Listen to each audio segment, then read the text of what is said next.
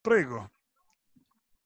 Benvenute e benvenuti a, a tutti. Siamo, io sono Ketty Carraffa, cioè, abbiamo in collegamento questa sera veramente una bella rappresentanza dal Venezuela. Naturalmente c'è Daniele Marconcini di Lombardi nel Mondo. Io sono qui per eh, cominciare, quindi con, introdurre questo nostro incontro per Mimosa Time e Lombardi nel Mondo. Questa sera parliamo di Venezuela, quindi di quello che sta accadendo, la situazione sociale e politica in questo momento. Abbiamo in collegamento quindi con, con il Venezuela Abbiamo quindi Esteban Tamburrini che è un politologo e eh, Sevi Dicione che è invece coordinatore Voluntad Popular in Italia. Io direi di partire subito con Esteban perché così almeno lui è in Venezuela, ci comincia a raccontare che cosa sta succedendo e com'è effettivamente la situazione attuale. Prego Esteban, benvenuto qui a Mimosetta e Lombardi nel mondo. Grazie, grazie Chetti. E, infatti ti premetto solo una cosa, io sono stato presente eh, in Venezuela fino al 2016, dopodiché sono rientrato in Italia, anche cioè, a partire dall'anno in cui sono state chiuse tutte le strade democratiche eh, intorno alle quali, diciamo, competi- in base a una competizione un po' svantaggiata, l'opposizione poteva un po' giocarsela e cercare di allocare delle cariche pubbliche all'interno del contesto eh, istituzionale venezuelano.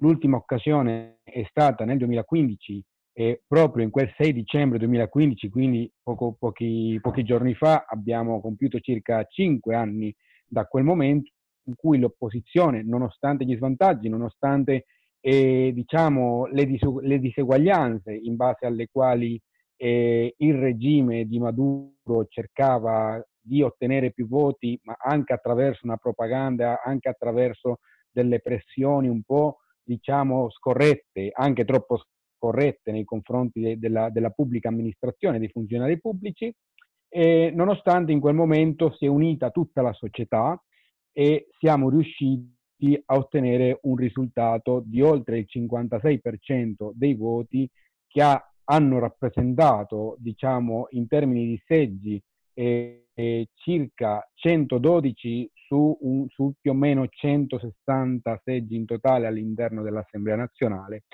Dopo di questo evento, eh, in un momento in cui c'erano dei prigionieri politici, c'era già comunque Leopoldo che oggi è in esilio ed era in fase di prigionia politica, e un centinaio di, ragazzi, di ragazzi e attivisti erano sempre nelle prigioni del Sebin sotto tortura e anche sotto costanti vessazioni ogni volta che la pressione internazionale arrivava, diciamo, e poneva il fiato sul collo sul regime. E, in questo momento, diciamo, tutti i settori si erano uniti facendo subito questa premessa storica per poi capire il perché siamo qui. Cioè, allora, chiariamo, chiariamo, un attimo. Allora, c'è okay. stato il periodo di Chavez, no? due mandati presidenziali, poi Chavez no, muore, no? vengono sì, sì. nuove elezioni, no? questa sì. elezione, diciamo, eh, emerge un nuovo leader che sostituisce no, come, come, proseguimento no, della, della, presenza no chavista che è Maduro. Ci sono queste elezioni nel 2015 dove la rappresentanza dell'opposizione va in maggioranza sì. con l'Assemblea nazionale. Esatto. Eh, chiariamo, questo okay, è un po' il contesto. In quel momento lì però c'è un'inversione, diciamo, di tendenza, anche in un rapporto difficile tra, tra chi governava e l'opposizione, da questo momento c'è stato diciamo, un abbandono del fronte democratico no? nella partecipazione alle elezioni, no? Anche perché eh. Maduro ha, ha, indetto delle elezioni considerate illegali, giusto? Corretto? Beh, diciamo, diciamo, che sop- soprattutto perché, cioè questo è lo spartiacque, il 6 dicembre 2005 si viene a formare uno spartiacque in cui eh, il regime e soprattutto i suoi accoliti che non basta più eh, diciamo, un certo vantaggio a livello economico, istituzionale e anche comunicazionale eh, per evitare che in qualche maniera l'opposizione ottenesse la maggioranza.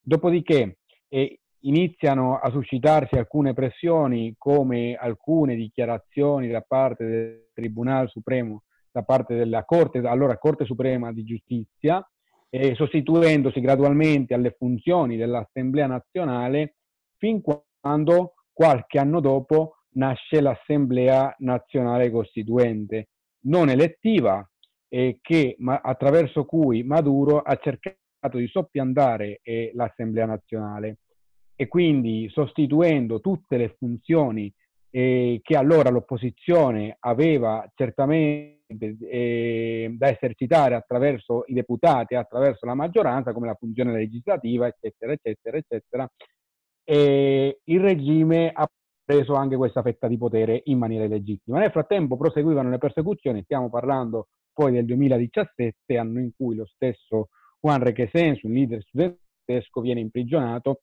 e un'altra valanga di proteste per contestare anche la chiusura delle vie democratiche, faccio una parentesi, po- poco prima c'era stato il tentativo di portare avanti il referendum eh, attraverso la raccolta firme, una volta raccolte le firme eh, il, lo stesso Consiglio nazionale elettorale, che è la prima autorità elettorale del Venezuela, aveva detto di no.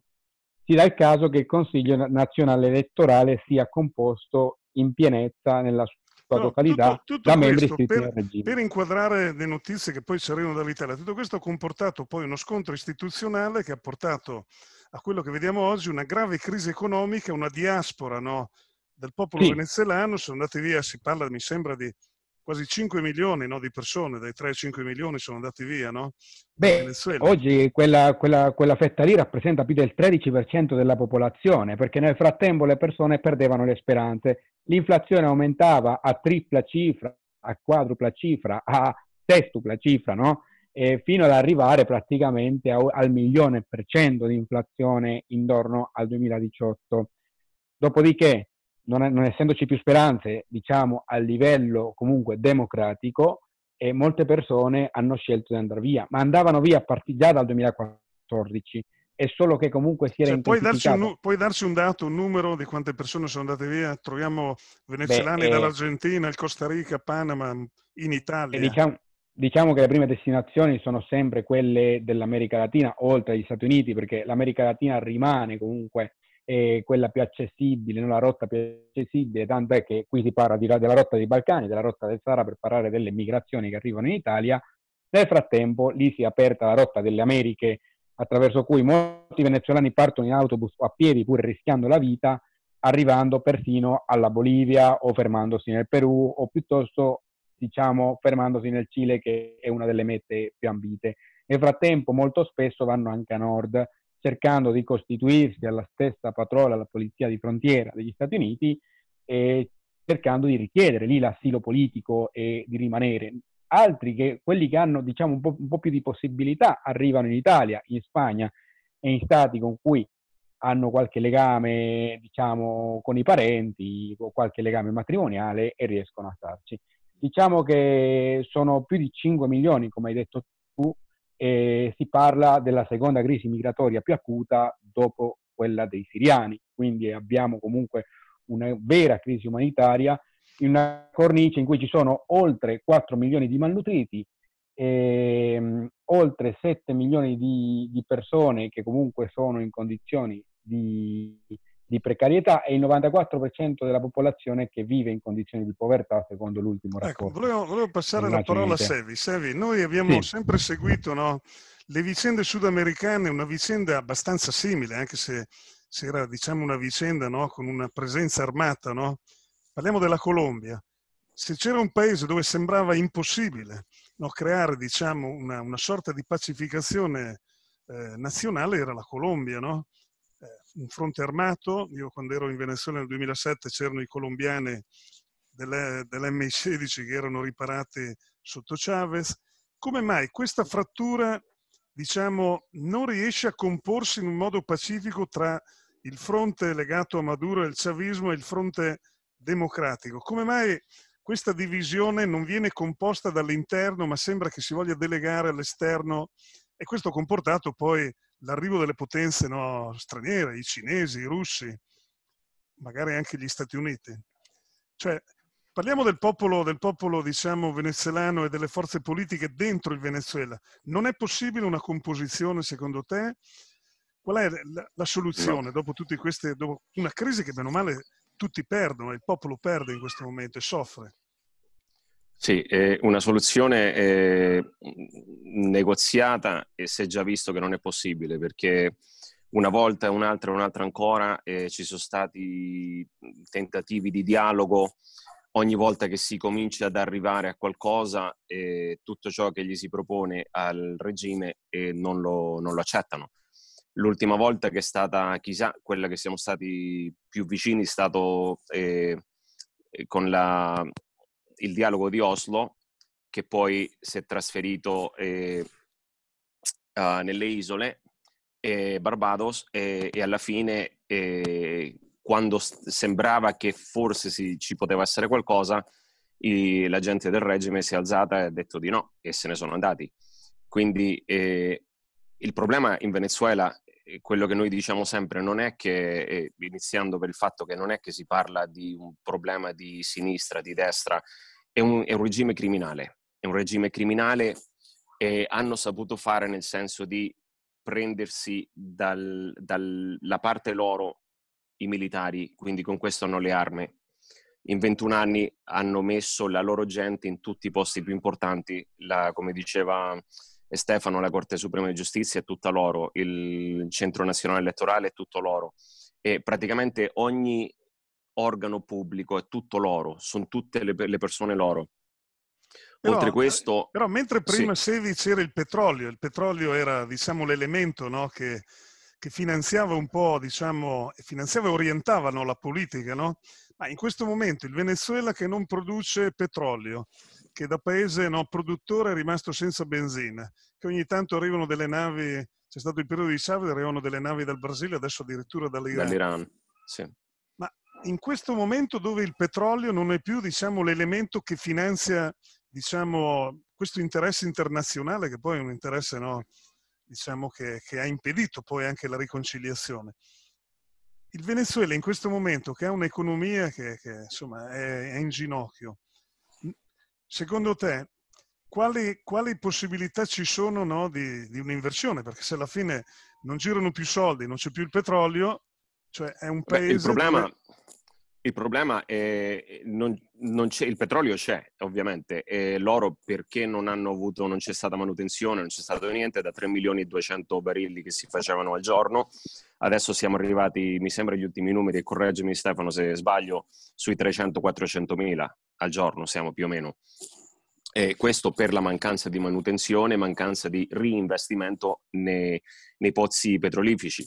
Uh, i soldi adesso da dove vengono? L'Amazzonia la stanno distruggendo completamente perché fortunata e sfortunatamente Venezuela è una nazione ricca non solo di petrolio, mi sembra che delle riserve di oro siamo al secondo o al terzo posto al mondo di riserve di oro. Quindi eh, se vuoi poi ti faccio perché eh, parliamo sempre con Americo De Grazia che mi sembra che lo conosci Daniele e lui è il commissionato presidenziale per, per l'arco, l'arco, minero e l'ambiente. E fotografie satellitali, tutto, tutto, ciò che stanno facendo nell'Amazzonia per ricavare l'oro, per rica- ricavare il, il, coltan, che è anche adesso questo oro, oro nero prezioso, e stanno distruggendo tutto, l'oro del sangue lo chiamano, e cercano di lavarlo verso la Turchia, verso, altri, verso l'Iran, e da lì prendono un sacco di soldi. Poi c'è anche il fatto che, che, non è che si presume che è un fatto eh, provato, eh, è un, eh, si chiama questo regime un narcoregime, cioè ci sono le droghe, ci sono soldi che arrivano, tanti soldi che arrivano dappertutto. Uh, c'è la parte triste che loro dicono sempre che non c- adesso non c'è da mangiare, che tutto sta male in Venezuela, l'economia, per tutte le sanzioni e che hanno bloccato tutto però quando devono comprare mezzi, quando devono comprare armi, roba che interessano loro, i soldi ci sono sempre. Ho capito, allora passo la parola a Stefano. Stefano c'è stata una presa di posizione no, della, dell'Europa, no, dell'Unione Europea, ci sono state prese di posizione di moltissimi paesi, no? Eppure la pressione internazionale non ha cambiato le carte in tavola. No? Ci sono praticamente, dicono consulenti no, russi, vi sono, diciamo, c'è stato un grande prestito da parte della Cina, no? Mi si diceva addirittura le, le, le riserve aree, auree no, del Venezuela sono state date come garanzia, no? Qual è, diciamo, la, l'interferenza no, delle grandi potenze? Perché a un certo punto c'è stato anche, diciamo, hanno dato colore addirittura agli aiuti alimentari, no? se erano degli americani non andavano bene, se erano da altri paesi andavano bene. Come mai questa continua interferenza no? delle, delle, potenze, no? le grandi potenze mondiali? E se è vero no? anche questo tentativo di, di, di, golpe che è stato portato avanti da, da, dai, merc- dai, mercenari americani? Eh, allora, Buonasera a tutti. Gianni Cappellin da Caracas. Ciao. Scusate il ritardo, ma ero in un'altra chiamata. Prego, Buonasera, signor Gianni. Prego, Stefano.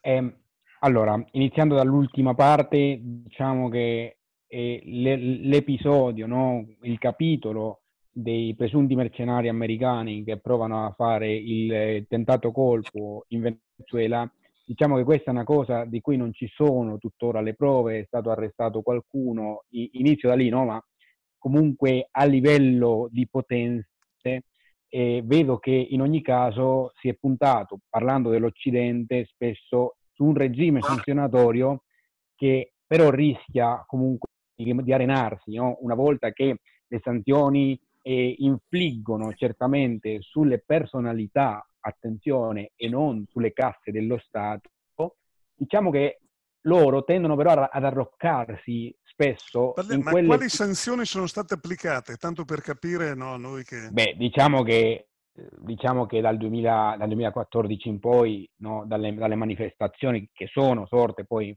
nel febbraio del 2014, poi in quelle del 2017, ogni volta che c'è stato un colpo contro la democrazia, spesso con l'instaurazione di un'assemblea nazionale costituente fasulla, senza alcun sostegno popolare, fino ad arrivare alle ultime elezioni del 6 dicembre, per la continua violazione dei diritti fondamentali, spesso la Commissione europea o anche gli Stati Uniti d'America, ma loro, alla loro volta le Nazioni Unite stesse o l'Organizzazione degli Stati americani, americani procedono a, ad applicare sanzioni mirate, eh, come accadeva con l'alto rappresentante della politica estera dell'Unione Europea, nei confronti dei, dei, dei, degli alti funzionari del regime che sono complici o fautori diretti di queste violazioni. Nel frattempo però abbiamo visto un'espansione in atto sin dal 1999, diciamo che comunque la cosa ritorna molto indietro nel tempo, quando nel 1900, sì, no, prima di essere presidente, nel 96, anche un po' dopo, Chavez fa visita alla Cuba. No? E diciamo che il suo movimento però era nato ancora prima, mh, negli ultimi anni 80, quando il movimento bolivariano rivoluzionario si fonda, 200, si fonda proprio in, quella, in, quelle, in quell'enclave, in, in, quella, in, in, quel pezzo di frontiera tra Apure e il Venezuela in cui eh, Chavez allora prende contatti con questi uomini delle FARC. Lì inizia certamente un connubio che lo pone direttamente in contatto pian pianino con Fidel Castro e dopo il tentato golpe ancora di più con contatti stretti della, della sinistra del foro di Sao Paulo in America Latina ma poi si va più avanti. Perché? Perché sin dai primi anni 2000 Chavez disse nel primo incontro, nel primo vertice con la Cina, eh, Dio ha voluto che tutto il petrolio di cui ha bisogno la Cina fosse presente nel Venezuela. Poi da lì si è cominciato a spostare, facendo i primi accordi di importazioni di armi con la Russia e così ha voluto rappresentare eh, una certa eh, antitesi ecco, al, all'ordine, ecco, all'ordine, liberale. Però, all'ordine... però, in Colombia c'è stato un ruolo della Chiesa, no? C'è stato il nunzio no, Parolin, no? il nostro ministro degli esteri no, del Vaticano, sì. è intervenuto. Cioè, come mai lì la Chiesa non è intervenuta in Venezuela facendo una mediazione? Tu sai che la Chiesa, ad esempio, contro anche diciamo, la politica degli Stati Uniti, è andata a Cuba, ha sempre cercato un, luogo, un, un ruolo di, di, mediazione. Come mai lì la Chiesa non interviene o non riesce a avere voce in capitolo? Eh, diciamo che eh, sono situazioni, sono situazioni assoluta, assolutamente diverse dal momento in cui in Colombia comunque si erano in qualche modo esaurite le ostilità e buona parte delle FARC purtroppo ancora armate si trovano nel Venezuela. E, ma abbiamo una situazione in cui le ostilità non si sono esaurite, dal momento in cui le aggressioni continuano e si mantengono in parallelo anche ai dialoghi, ai, tentati, ai tentativi di negoziato eh, che purtroppo si sono avviati dal 2014. Il problema è uno, è che se una delle parti prevale nel, nel confronto armato di fronte all'altra parte, mentre cioè, una è costretta a cedere, che è l'opposizione, che molto spesso deve cedere comunque alle pretese, e l'altra non cede mai perché si impone attraverso il sangue e la sopraffazione, vediamo che è molto difficile comunque trovare un accordo di pace perché l'eventuale pace come quella che si è vissuta in questi ultimi mesi è la pace dei cimiteri, in cui uno vince, si sovrappone, però nega l'altro. E come diceva Francesco poco fa, cioè, ehm, nel, all'intervento all'Università Roma 3, la guerra inizia proprio dentro di noi quando noi neghiamo l'alterità e qua purtroppo in Venezuela c'è una negazione piena dell'alterità come diceva Sevi, quello che accade poi nell'arco minero è, ne è l'esempio migliore, perché lì vengono uccisi quotidianamente degli indigeni costretti a estrarre dell'oro per poi consegnarlo ai militari che però non riconoscono ai piccoli minieri Bene. alcun ruolo. Bene, passiamo cioè. a Sevi. Sevi, noi abbiamo visto prese di posizione dell'Unione Europea, tanti atti di simpatia, no? tanta attività, però io quando ho parlato anche col Ministero degli Esteri al di là delle prese di posizione politica, tutti hanno suggerito, diciamo, tutti i funzionari con cui ho parlato, una certa, una certa prudenza anche negli aiuti no, umanitari, perché è molto difficile avere, diciamo, un rapporto anche con le autorità. Quindi, tu che sei adesso in Italia, cioè come vedi le azioni concrete? Perché noi abbiamo visto che c'è, un'opposizione, però un'opposizione, diciamo, all'estero che magari è molto più evoluta, no? molto magari anche più politicizzata, però vediamo una grave difficoltà nel, nell'organizzare diciamo, delle azioni concrete, anche da parte dei governi. Qual è la tua impressione, la tua esperienza nei rapporti diciamo, con l'Italia, con l'Europa, anche con il Venezuela e anche con il mondo no, dei venezuelani, la diaspora? Sì.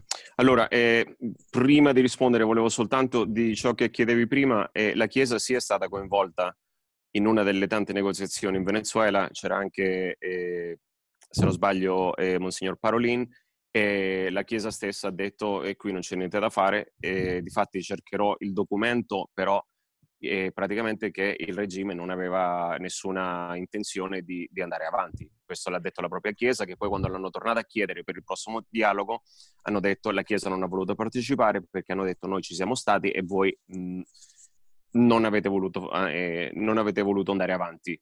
Uh, della domanda che mi hai fatto, eh, senti, la, la, posizione dell'Italia è strana. Io dico, io parlo da venezuelano, sono parte della rappresentanza eh, dell'Assemblea nazionale e del governo ad interim qui in Italia, sono il vice rappresentante, diciamo, la rappresentante sarebbe la diputata Mariela Magallanes eh, però posso, parlando anche come italiano, come italiano perché i miei genitori sono italiani, eh, un po' f- molto fa male la posizione dell'Italia.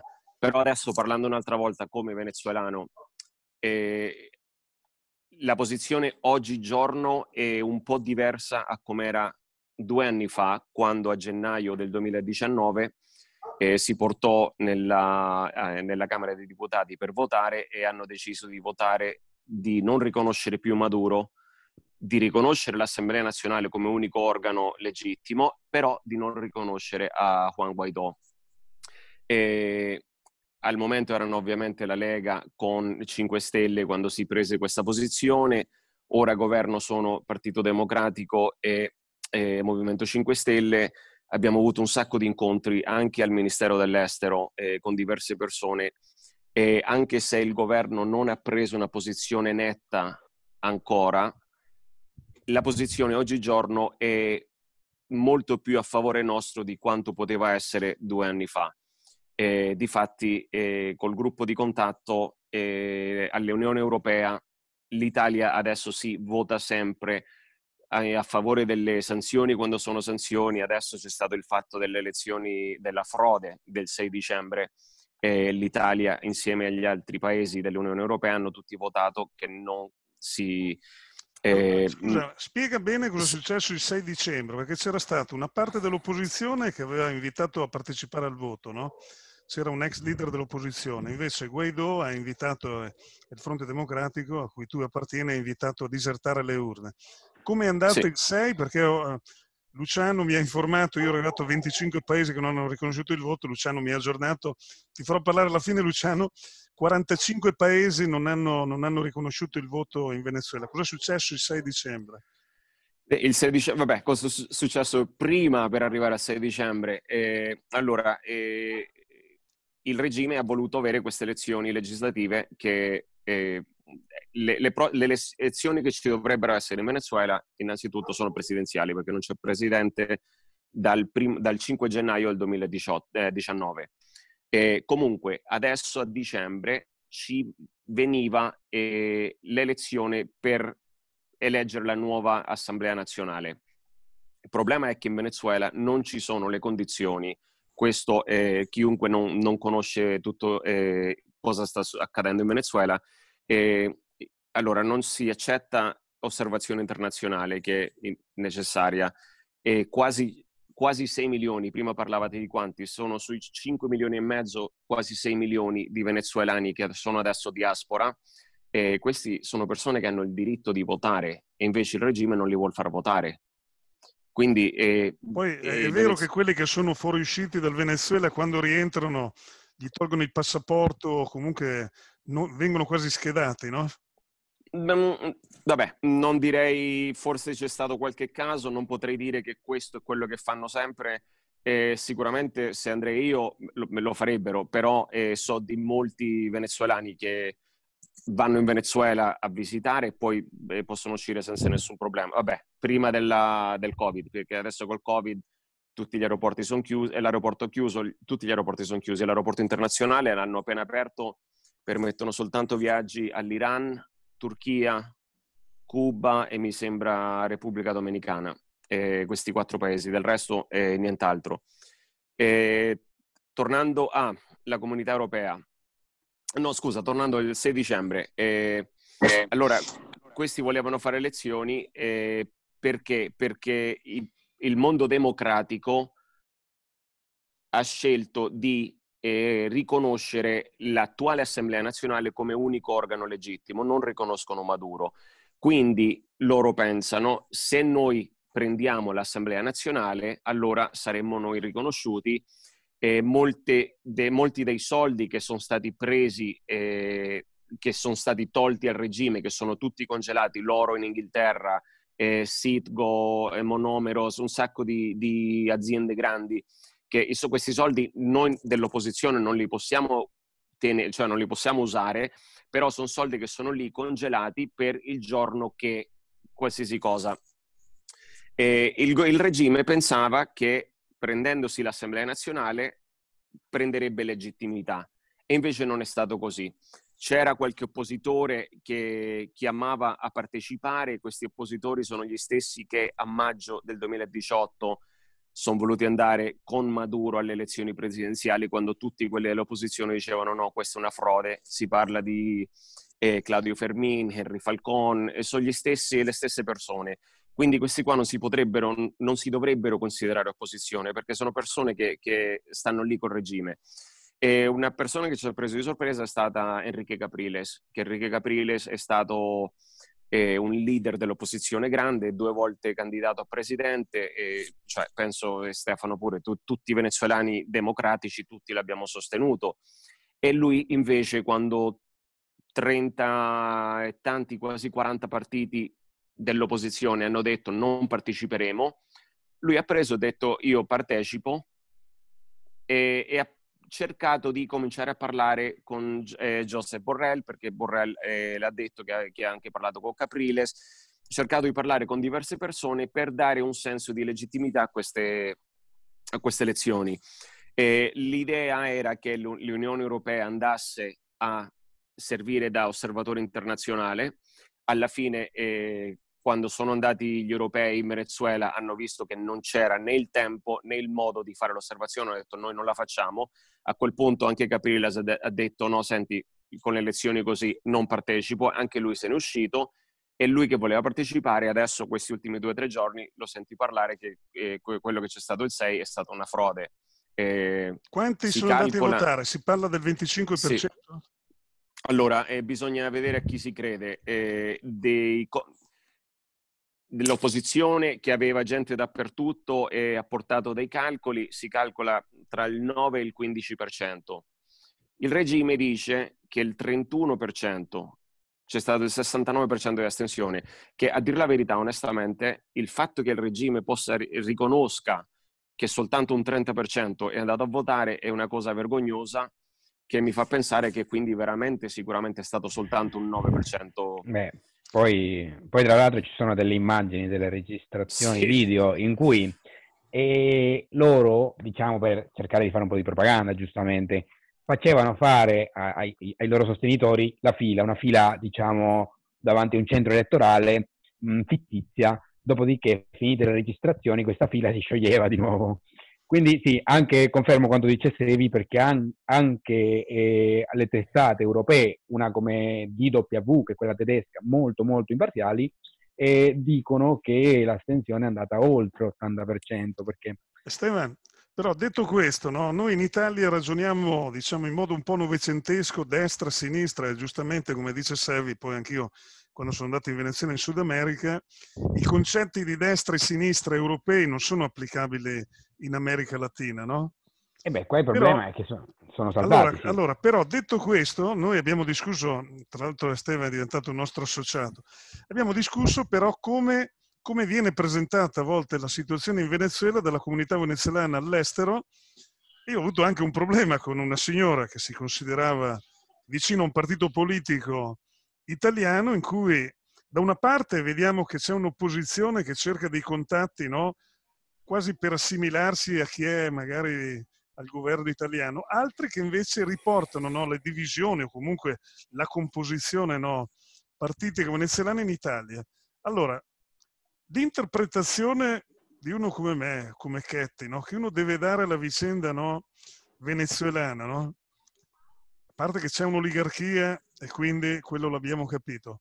Qual è il modo, secondo te, per spiegare agli italiani che sono presi dalla pandemia e da altri problemi, o comunque agli europei, la situazione venezuelana e come tu sai come si può interessarli a questa vicenda? No? Infatti stiamo discutendo no, con, sul discorso Polonia, no, Ungheria, che non vogliono aderire al Recovery Fund, adesso sembra che abbiano trovato l'accordo allora, eh, non è una cosa semplice per noi italiani che abbiamo i problemi capire i venezuelani e come pongono la questione.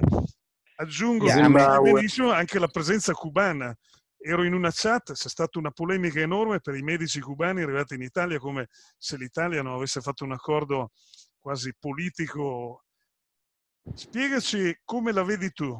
Sì, prima voleva intervenire il signore di Caracas, Cappellin, no? E quindi se voleva, fare, se voleva dire qualcosa nel frattempo, non, non lo so. Beh, Ho volentieri, che... Beh, diciamo che la situazione venezuelana ormai sta diventando quasi una situazione simile a quella dello Zimbabwe, io credo. Cioè abbiamo una, una situazione dove si perpetuano il potere all'infinito. Purtroppo Mugabe, bene o male, è anche morto il potere, praticamente per cui eh, non, sarà, non, è, non è assolutamente gestibile fare dei paragoni col sistema europeo perché non, non sono possibili. In più è un paese che ormai è completamente deistituzionalizzato, per cui c'è una dollarizzazione assoluta dove addirittura il costo della vita in certe cose ormai è anche il doppio rispetto a quello che può essere un paese normale cioè c'era, non so, uno vada a fare una risonanza magnetica e ti chiedono 500 dollari, cosa che in Italia, anche se vai come solvente, paghi 100 euro, 120, cioè la gente non sta più in piedi, quindi è tutto strisciante, non esiste più la fatturazione, tutto gira in contanti in nero, perché è un paese africano, ma siamo fra la Somalia e lo Zimbabwe, sotto certi aspetti, quindi in più il tema della, delle elezioni sono state senz'altro una una frode, ma io penso che al potere, cioè più che una frode, pilotate dal governo in maniera tale che l'opposizione non partecipasse. Agli effetti loro non gliene frega assolutamente niente perché hanno detto noi siamo stati, alla fine avranno messo un paio di milioni di voti in più come le hanno messe in tutte le altre elezioni. E quindi a questo punto invece di 5 che hanno dichiarato sono stati 3 probabilmente quindi sarà stato il 18 o il 15 ma cambia molto poco. Quello che cambierà è il 6 di gennaio perché io credo che il 6 di gennaio qualsiasi deputato attualmente in carica della sua, dell'attuale Assemblea nazionale o prende il primo aereo per dei cinque posti aperti, fra cui c'è anche Panama, Panama, Repubblica Dominicana, dove sia, o 6 di gennaio deve dire io sono decaduto, perché se rimane qui se no lo arrestano per sedizione. Cioè, alla fine, vediamo un esempio vicino europeo, i catalani hanno, fatto, hanno dichiarato che se ne andranno dalla Spagna e Puigdemont esule quello che sia in Belgio sperando di non essere stradato. Per qualsiasi dei deputati che dica no, io sono ancora in carica, viene arrestato per sedizione il giorno dopo, perché quelli, gli attuali governanti qui, dico questo qui, con che diritto dice di essere ancora deputato? Per cui le 50 nazioni in giro per il mondo dicono ancora che funzioni, senz'altro, ma i venezuelani i problemi se lo devono risolvere da, da, soli, anche per dubito. Eh che allora, ci sarà Sevi, mai... Eh, Domando a Sevi, come mai gli Stati Uniti, anche con Trump, che ha avuto, diciamo, ha fatto delle prese di posizione così forti, non sono mai intervenuti direttamente col Venezuela, no? Sì, poi Daniele volevo anche rispondere alla tua domanda, ma aspettiamo Sevi perché sì, è molto interessante la domanda di prima del comunicare all'Italia cosa si vive in Venezuela, sì, però no, beh, no, fai, fai pure te, non è un problema. Cosa rispetto a, al partito o comunque a quello che riguarda un pochino quello che diceva eh, Daniele, no? Perché in effetti noi in Italia ragioniamo in un altro modo, forse magari ancora un po' troppo partiticamente più che eh. politicamente. Eh. Quindi ad esempio, non so, uno che pensa a Guaidó pensa assolutamente a uno di destra, no? Qui in Italia. Cioè, per diciamo essere... che meno che di destra. Eh, nell'immaginario collettivo accade questo, nell'immaginario collettivo si vedono... No? Per esatto. me Maduro è di sinistra. Vorrei aggiungere, vorrei aggiungere una cosa. Aspetta, eh, aspetta un attimo, secondo... scusa Luciano, un attimo, che facciamo il giro. Allora, no, prima... no, è, no, è molto, è molto no, scusami, Dante, sì, sì, prego. Una cosa, una cosa che voglio sottolineare. Non si può parlare del Venezuela senza parlare del Brasile, che sarebbe la Germania del Sud America, e della Bravo. Colombia. Senza questi due items, eh, gli Stati Uniti non si muoveranno mai verso Venezuela. Questo è il punto. Ricordo, e qua chiudo, poi parlerò di altre cose, che dai tempi di Chavez ci sono 30, eh, 30 milioni di dollari mese di petrolio che andava all'esercito americano, anche con Maduro. E, ma perché?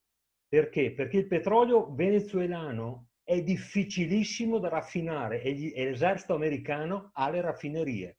Non è vendibile completamente e, chiudo la parentesi, Cuba gestisce i servizi segreti e l'anno scorso, nonostante la fame, la crisi e tutto quanto, Maduro ha regalato il valore di un miliardo di dollari in petrolio a Cuba. Chiudo.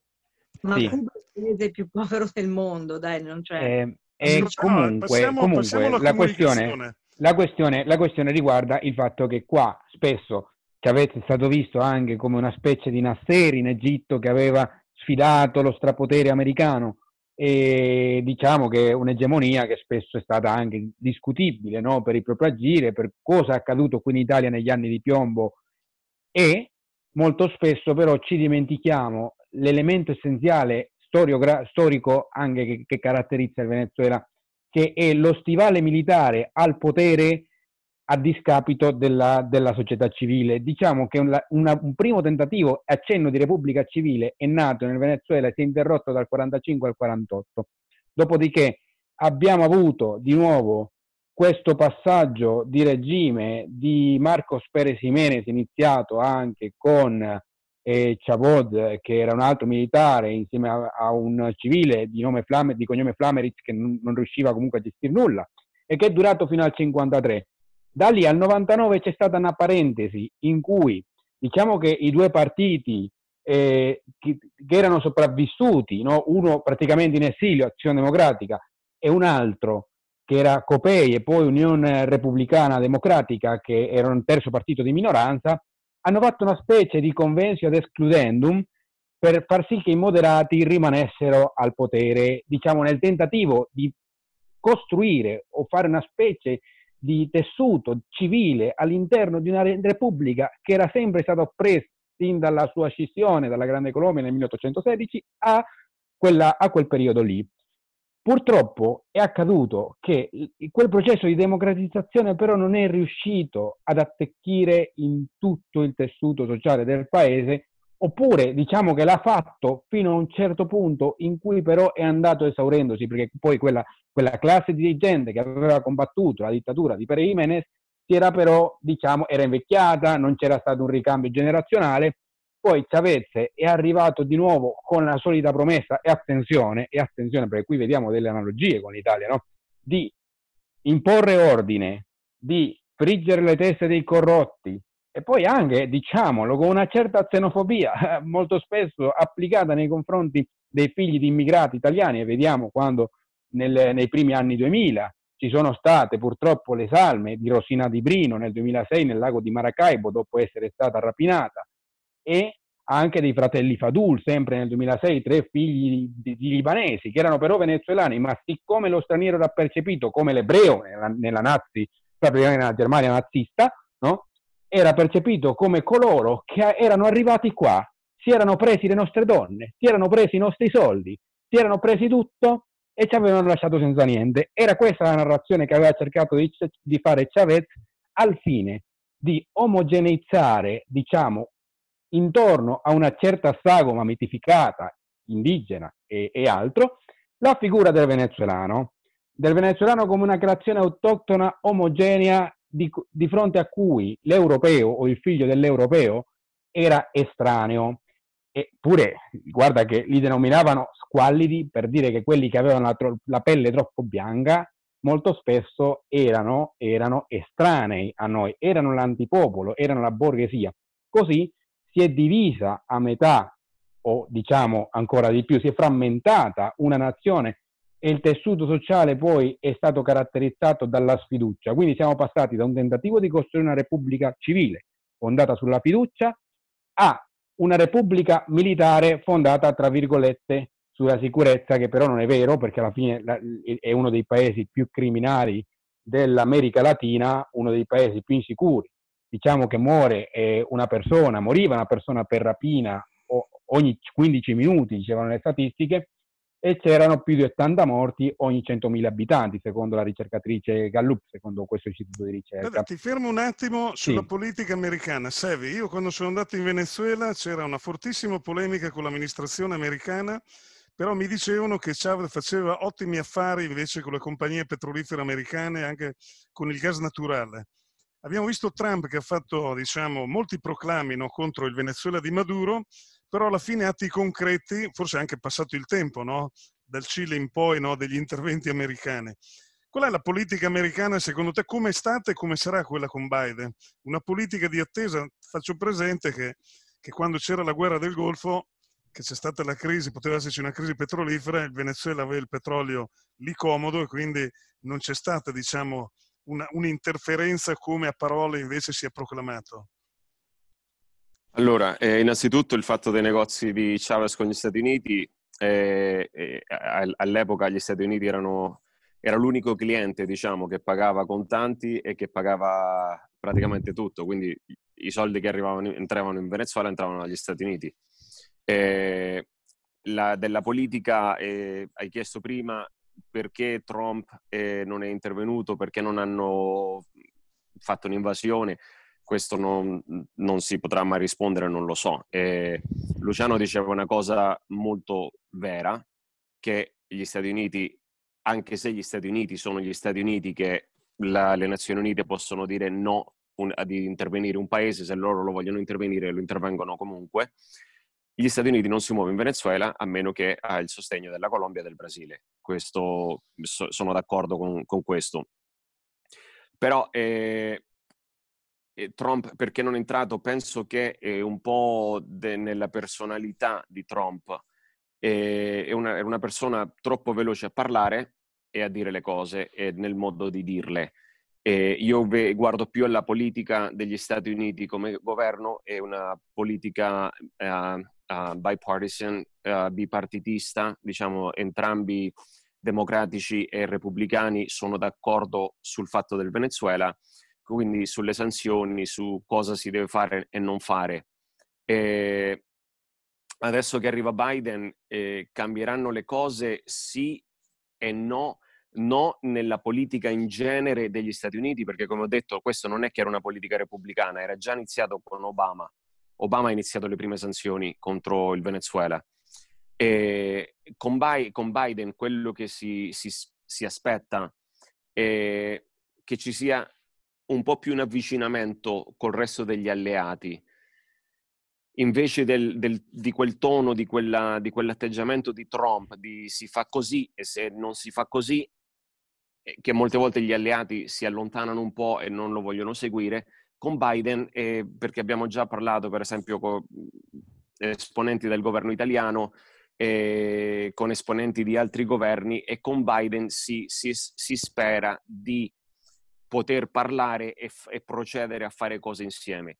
E un intervento militare mm, non lo so. E molti dicono che sarebbe l'unico modo di, di cambiare la situazione in Venezuela. E può essere, come può anche essere, che se i militari arriva un momento che veramente si girano contro Maduro, i militari dentro, eh, per me la soluzione viene facendo un governo di transizione dove, e questa è una, una cosa che eh, molta gente dell'opposizione non piace ascoltare, quando uno dice, vabbè, governo di transizione, ci devono essere parti della, della gente del, di Chavez, del PSUV e gente dell'opposizione.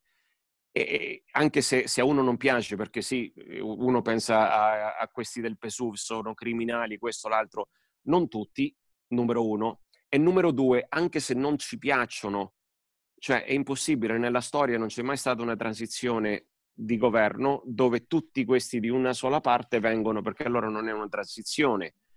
Quindi per me l'unico modo che c'è speranza per Venezuela è che si mettono d'accordo però della gente del, di Chavez, del chavismo, che decidono, sai che adesso sì, danno le spalle a Maduro e si può andare avanti con un governo di transizione. Questo si è capito quando si parla di governo di transizione, qualsiasi perché molte volte molte persone dicono no perché allora con Maduro qua là, no, Maduro no, Diosdado Cabello no.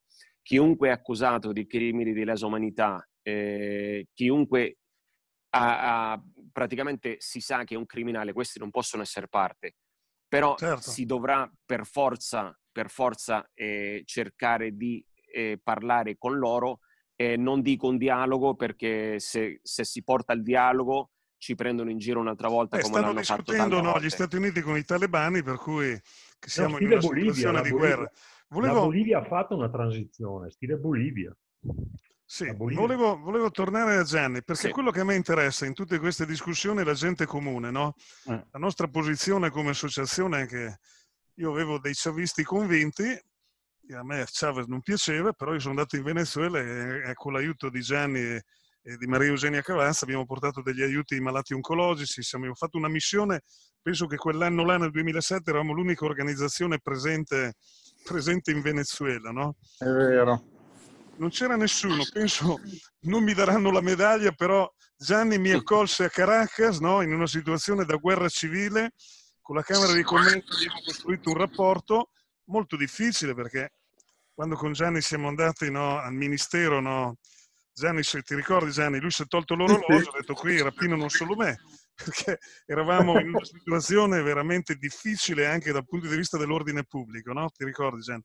Assolutamente. La cosa, che, la cosa che mi ha colpito però in quel periodo là era la difficoltà nel fare l'imprenditore. Allora, tua figlia e anche tu avete, l'ho scritto anche nella presentazione del video, avete un'etica di prima di chiudere un'attività pensate alle famiglie.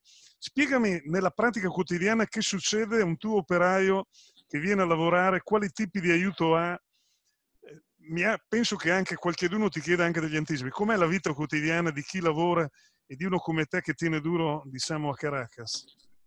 Ma sai, è sempre più difficile anche perché lavorando nell'economia formale siamo praticamente gli unici sottoposti a controlli, fatturazione, pagare l'IVA, pagare tutto quello che c'è da pagare e ti garantisco che quando le paghi tutte, forse di tasse, le dogane, tutte le, le balzelli doganali, sono forse, penso anzi senz'altro più alti che in Italia. Dall'altra parte adesso che si è creata un'economia di bodegone, di altre cose, per il resto c'è tutto un contrabbando legalizzato gestito da loro, dove portano di tutto e di più col sistema di door to door, per cui è ridiventata un'economia, è diventata un'economia diciamo, di porto di nuovo, quindi in Venezuela non produce praticamente più niente. Chi continua a fare l'industriale come me siamo, non so se siamo dei santi o dei pirla, probabilmente siamo il, caso, il secondo caso, anche perché le date di, di, di, di Confindustria venezolana, cioè, eh, di Fedecamera, eh, l'apparato produttivo venezuelano ormai è ridotto a meno del 60% di ah, quindi un operaio viene pagato in dollari o in bolivar? Allora, in questo momento un, eh, le aziende cosa stanno facendo? Premesso che l'iperinflazione continua, ti posso dire che un mese fa, circa adesso non so se 30 o 40 giorni fa, il cambio del Bolivar, che già, gli ha tolto almeno già 8 zeri nel corso degli ultimi anni, è passato da 400.000 Bolivar per un dollaro a 1 milione e 100 che siamo al valore di oggi. Quindi gli stipendi vengono polverizzati a vista d'occhio. Cioè, il taglio di una moneta cos'è? Il taglio cos'è? Il taglio più grosso sono 50.000 bolivar e quindi sono 5 centesimi, 4, 3 centesimi di dollaro. Quindi, una, una, montagna no, di carta moneta? No, ma non ci, non ci, sono, perché non li trovi, perché se vai in banca il massimo che ti danno sono 200.000 bolivar, quindi 10 centesimi di dollaro, 15 centesimi di dollaro.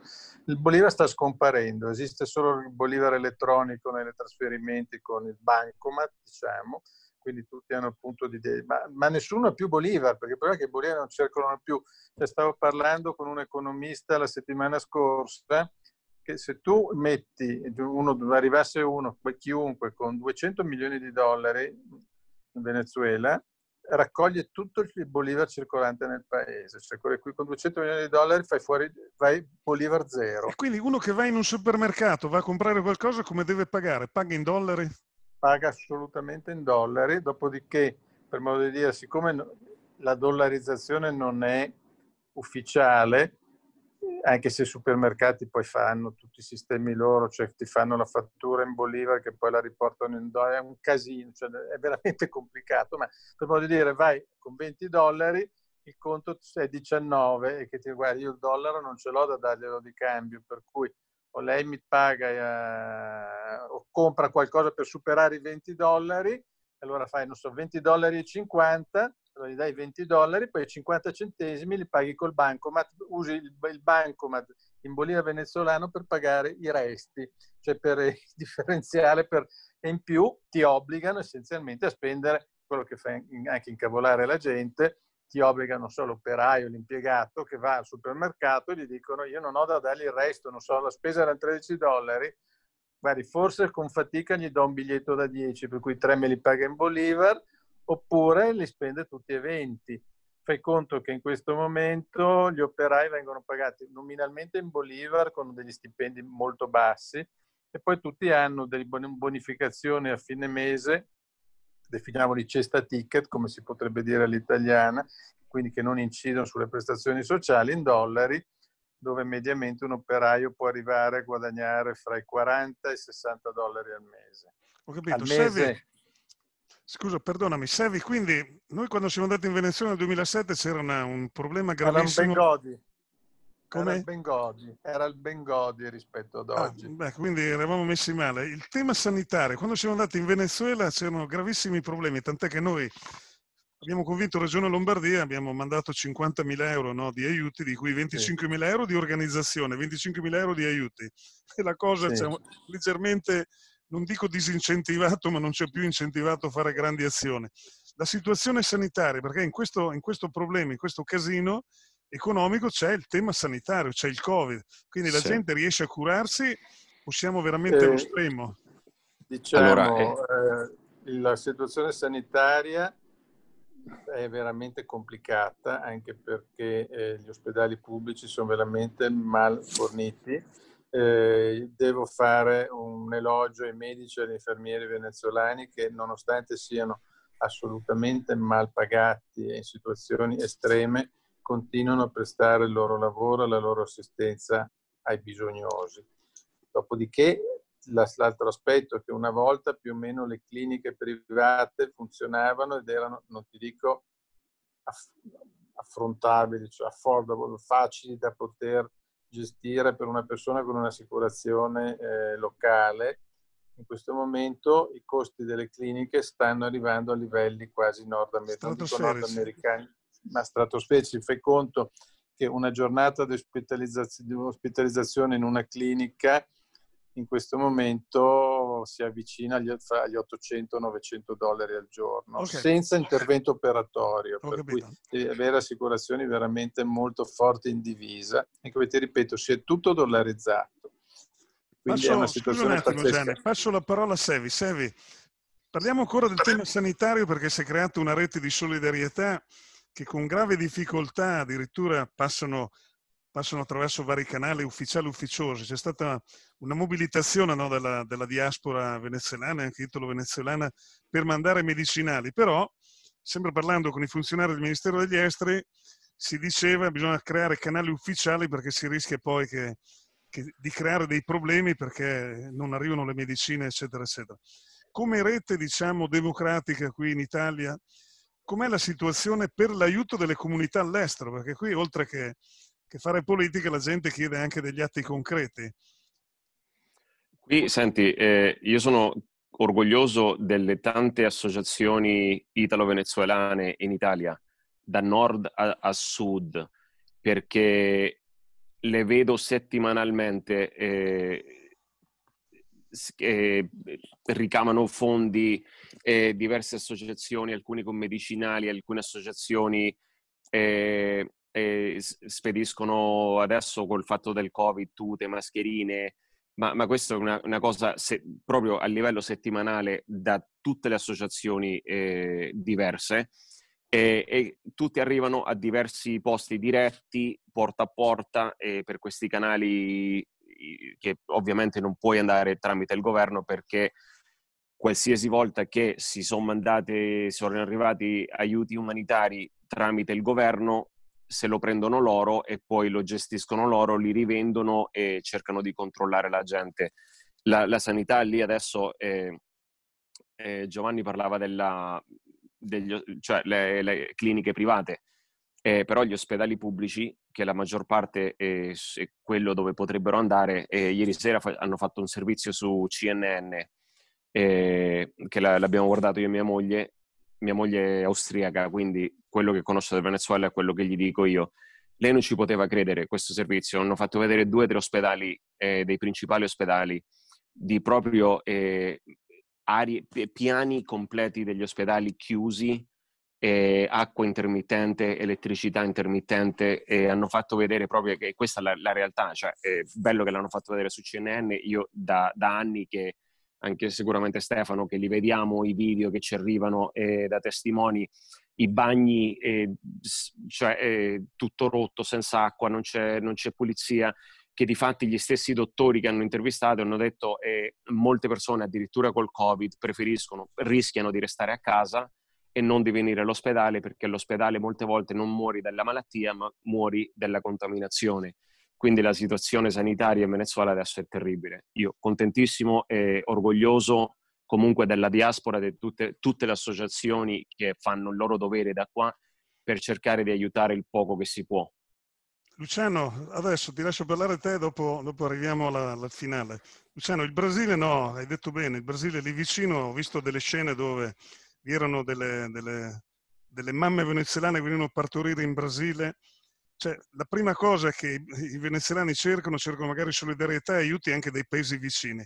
Qual è la, la, politica dei paesi vicini, al di là della contrapposizione che abbiamo visto con il governo di Maduro? Vi sono aiuti umanitari, vi sono interventi anche della gente o sì. vi è un'indifferenza? No, il governo brasiliano è intervenuto completamente e massicciamente, oserei dire, con tutta la gente che arrivava dal Venezuela.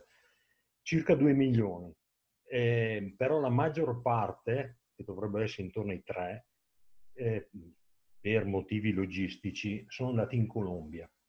La, eh, il Brasile ha mandato anche direttamente o attraverso la Croce Rossa, ha cercato di inviare camion di aiuti sanitari soprattutto e di beni di consumo, cioè tipo carta igienica, tipo, cioè proprio cose basiche ma sono stati bloccati alla frontiera perché i militari volevano prendere i camion, eh, mentre il governo brasiliano ha detto no, noi entriamo, ci scortate, arriviamo fino al posto dove dobbiamo scaricare, perché in Brasile si sa benissimo che Maduro, per mantenere il potere, ha dato in mano la gestione dei farmaci e degli alimentari a determinati cappuccioni, diciamo, dell'esercito. È così che lui tiene il potere. Inoltre eh, è interessante, l'ho accennato prima, il coinvolgimento di Cuba, che non è da poco, perché il Venezuela è uno dei pochi paesi che è rimasti che dà da mangiare a Cuba. Questa è la verità. E infatti dal eh, servizi Cuba segreti un brasiliani... americano dal 1959, eh, comunque non credo che possa dare così tanta mano al Venezuela, un paesino come... come... No, come, come dicevo, no, no, come dicevo prima... Eh, Infatti lui conferma questo, è il Venezuela che sta aiutando Cuba. Sì, sì, è Venezuela sta... Però Cuba dà come aiuto, dà come aiuto eh, i servizi segreti che sono eh, gestiti eh, da cubani, sono gestiti da cubani. Comunque, lasciando perdere questo aspetto qua, il, ehm, il foro di San Paolo, cioè se uno non, non conosce il foro di San Paolo, non riuscirà mai ad avere un'immagine completa di cosa diavolo succede in America Latina, non da adesso. E perché è stato re- costruito, cioè è stato costituito, scusate, il foro di Lima, dove c'è dentro il Brasile, c'è dentro la Colombia, c'è dentro il Paraguay, c'è dentro e perché il Venezuela è stato tagliato fuori dal Mercosur. Per un discorso che il Brasile ha appoggiato completamente gli Stati Uniti su questo, Giacomo Obama, sui diritti dell'uomo. È interessante che a Bachelet, Bachelet adesso non mi ricordo come si chiama, ex presidente del Cile, che è quella che ha fatto la, la Bachelet, Bachelet. Bachelet, Bachelet, esatto, non sapevo come pronunciarla, era amicissima di Chavez e di Fidel Castro. Cioè, lei attacca Maduro proprio sui diritti dell'uomo, cioè non, non, lì la politica non c'entra più assolutamente una pizza. L'America sta d'occhio al eh, Venezuela anche per un altro motivo, che due anni fa a Miami i due eh, nipoti, diciamo, prediletti di Maduro sono stati bloccati a Miami con 800 kg di cocaina. Cioè, la, ehm, siamo fuori dagli standard, cioè per capire Venezuela, secondo me, certo poi i signori eh, ne sanno più di me, ma eh, bisogna pensare alla Bulgaria al tempo dell'Unione Sovietica. Eh, due partiti di sinistra, che, che, qua in America Latina sono di sinistra, ovvero il PT e il PSOL, hanno ampiamente dichiarato che è stata una votazione democratica. Eh, qua vedi come girano le teste. E le, le, la situazione, come si dice, che mi, mi ricorda di più l'attuale Venezuela è la vecchia Bulgaria come si votava in Bulgaria, se ve lo ricordate. Bene, bene. Mentre, Grazie Luciano. Ecco. No, ultima cosa, la, ehm, proprio il Brasile insieme alla Colombia hanno proprio, eh, c'erano molte pressioni anche da venezuelani su un'azione armata contro Maduro. Ma Maduro ha riattivato le FARC, prima cosa. E seconda cosa, se uno conosce i territori dell'America Latina, iniziare una guerriglia o una guerra che si vuole in America Latina non è come in Europa o come nel deserto, cioè dura altri 50 anni se inizia una cosa così, proprio per le strutture eh, della giungla, della foresta. Cioè, sì, non sì, è la struttura combattere... quello che abbiamo visto in Colombia. Esatto. Ti ringrazio. Sevi? Un altro Vietnam. Sì, volevo dire una cosa veloce. Eh, eh, mi pare che Ketty prima ha detto, lei quando vede Maduro pensa alla sinistra e adesso si parlava un po' di, di sinistra, il Foro di San Paolo. La mia domanda era molto concreta, capito? Cioè volevo proprio capire, siccome molti sì. appunto pensano questo, volevo proprio sapere la sì. sua opinione su questo.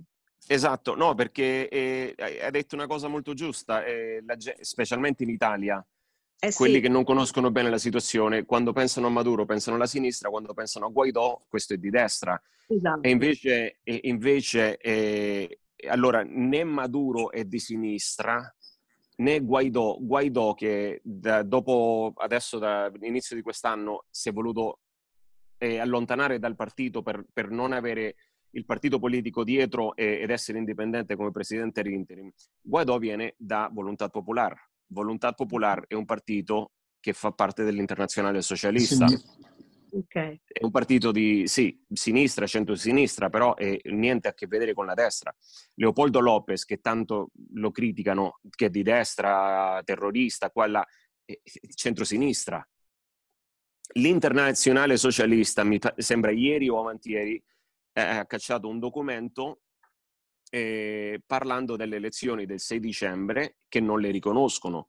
Quindi non è un concetto di destra e sinistra. Maduro è stato bravissimo, già, già da Chavez sono stati bravissimi a fare questo discorso, questa propaganda di far, cap- di far, credere che loro sono la sinistra e che tutti quelli che gli vengono contro sono, sono della destra. E non è vero non è così. Ci sono i democratici e i non democratici, semplifichiamo. Ci sono degli esatto. oligarchi esatto. e dei democratici. Ultima, allora, ultima domanda molto veloce, con risposta veloce a Esteban. Esteban, si esce dal pantano e dalla crisi gravissima del Venezuela se escono diciamo, le, gli interessi delle, delle potenze internazionali con una soluzione interna o finché non si mettono d'accordo le potenze che sono intervenute, Cina, Russia, magari anche gli Stati Uniti esternamente, Iran, il Venezuela Iran. rimane così. Eh, iniziando, iniziando, proprio da quella, da quella, che è la divisione no? tra quelli che comunque promuovono l'ordine liberale in cui siamo ora, no? che sono gli Stati Uniti e l'Unione Europea, e poi i revisionisti come la Cina, l'Iran e la stessa Turchia e altri stati che poi non si fanno guidare molto dall'ideologia, ma proprio dall'imposizione militare sui civili, e vediamo che comunque alla Cina stessa prima o poi converrà a riscuotere il proprio credito, no? perché sono tanti i soldi che ha buttato via e in questo tempo vediamo sì, che ricordiamo che c'è un fatica. prestito enorme della Cina eh. al Venezuela. E, e, così, e, così, come agli Stati Uniti non conviene certamente destabilizzare l'emisfero americano per non ricreare appunto un ulteriore sentimento anti-americano come quello che si è venuto a ricreare spesso ogni volta che gli Stati Uniti hanno messo diciamo, il piede ovunque, premesso che diciamo, negli, ultimi anni 90 li hanno chiamato gli altri, non, non hanno voluto intervenire loro, no? parlando della delle, dell'ex Jugoslavia, della guerra in Bosnia, della Somalia, e della guerra nel Golfo, sono stati chiamati loro in causa dagli altri. diciamo che di iniziativa loro, di solito loro non entrano mai, però ci deve essere una convergenza dal momento in cui è tutto un continente che si destabilizza con tutti questi flussi migratori e prima o poi conviene che certamente il Venezuela rientri a pieno titolo nella comunità internazionale. Per questo però l'opposizione deve tornare ad essere affidabile, qui faccio un'autocritica, perché Diciamo che fino a questo momento siamo stati trascinati proprio dall'immediatezza. Certo, l'urgenza della crisi ci porta a voler uscire ora dal regime, però diciamo che è più necessaria eh, una politica di processi. E cosa intendo con processi? Una politica che si basi nel lavoro quotidiano, nel giorno dopo giorno, che sia più fondato nel riconquistare la società civile nuove, a partire dalle nuove generazioni e soprattutto dalle nuove generazioni, anziché cercare di allocare persone o candidati all'interno di contenitori che poi rischiano di dividersi. Torniamo a, a, al discorso essenziale e qui mi, e qui mi chiudo. Comunque, io sono, problema... io sono d'accordo, sì. con Sevi, se qui non si accetta sì. una transizione non si, non si va. Transizione sì, che e... non sarà perfetta, però rispetto esatto. a uno stallo che porta ormai il paese Proprio... in una rovina totale, è meglio una transizione. Proprio perché l'opposizione, come dici tu, però... l'opposizione, una volta lo dissi in un discorso lì, non può e non possiamo imitare i mostri che cerchiamo di combattere, perché se noi cerchiamo di combattere coloro che negano gli altri, ma allo stesso tempo neghiamo il povero che alla fine non ha mai visto nulla, ma diciamo che ha imparato solo quello e a ripetere due slogan, l'unica maglietta che ha è la maglietta rossa da indossare con il volto di Chavez, noi dobbiamo andare a combattere, ed è qui che entra la politica dei processi, le cause strutturali che fanno sì che quel povero, per ora come ora, non viva altro e non pensi altro. E quindi Benissimo. è qui che l'opposizione deve puntare, iniziare a puntare sul lungo periodo, anziché sull'immediatezza che purtroppo ha fatto allora, fallire molti progetti in America Latina. Non c'è, non c'è una soluzione nel breve periodo, saranno processi estremamente lunghi. Vi ringrazio che ti siamo eh, arrivati alla conclusione in una situazione una... molto sudamericana sì, che è molto complicata. Daniela, Daniele, scusa, una sì. cosa veloce. Non, non, so se sapete che come risposta alla, al processo del fraude del 6 dicembre, adesso dal 7 al 12 Stiamo facendo eh, un, una consultazione, una specie di referendum, si chiama la consulta popolare a livello mondiale. Ci sono tre domande, mm. tre domande. E per ora è iniziato il 7, sembra che va benissimo perché si sta facendo... Le tre domande, mod- cosa si domanda? Se... Allora, praticamente la prima domanda è, no, è di voler fare eh, uscire all'usurpatore Maduro. E poi c'è la domanda delle elezioni del 6 dicembre che non, per, eh, che non si riconoscano né a livello internazionale. E poi la terza domanda sarebbe eh, che questa è stata proposta dai giovani, eh, per praticamente eh, un ordine ordina eh, alla comunità internazionale di, di, far sì che tutti i meccanismi, i metodi che ci siano per poter eh, aiutare al Venezuela, aiuto umanitario e tutto il resto, eh, che, che si, si, comincino a muovere. sono tre domande importanti e una, è una, un referendum che nasce dalla società civile, è anche sostenuta dai partiti politici, da, dal governo, dall'Assemblea nazionale, però è nata proprio dalla società civile. Questo è importante. E sembra che sì, sì, va abbastanza bene, quindi ti aggiorneremo il 12 che sarà l'ultimo giorno. Una, doma- scusa, una, una domanda su questo tema. Che garanzie riuscite a dare a chi parteciperà a questa consulta popolare? Premesso Visto che, che il clima è leggermente pericoloso il, il, livello di infiltrazione che ha sempre avuto l'opposizione venezuelana, che lo sapeva prima il governo che la stessa opposizione quello che avrebbe fatto, che non si finisca in una seconda lista Tascon. Lista Tascon. Che il povero Pirla che vota si ritrova a questo punto anche che gli arriva in casa la DC sì. o quello che sia. Allora, cioè, paura, ricordiamo che quelli che avevano votato contro Chavez erano 2 o 3 milioni, sono trovati in un elenco pubblico pubblicato sì, sì. su internet. Bene, sì, allora, io direi di proseguire in una fase successiva perché siamo andati avanti moltissimo. Okay. Intanto comunque, eh, sì Daniele, intanto grazie comunque a Sevis perché in effetti come giornalista italiana eh, è vero che a me piace molto la sintesi, quindi la mia domanda era molto precisa su destra e sinistra perché riconosco che non è semplice parlare in questo modo no, per quello che riguarda l'America Latina, però effettivamente dei chiarimenti a chi poi noi andremo a, insomma, a raccontare questa, questa serata, questo nostro incontro, io dovrò riportare, quindi è evidente che voglio capire effettivamente anche un po' di cose così, diciamo, più immediate e concrete. Grazie veramente a tutti voi, grazie a Esteban, grazie anche a Luciano e a Giovanni. E, insomma, noi ci, ci rivedremo sicuramente ancora perché questo è veramente un momento molto molto duro per tutti noi a livello mondiale per quello che riguarda la crisi economica e sanitaria, però comunque è molto importante anche capire quello che succede dal punto di vista sociale e economico in America Latina. Grazie ancora a tutti voi. Grazie, noi ci risentiamo. Grazie a voi. Grazie. Grazie. Ciao. Grazie.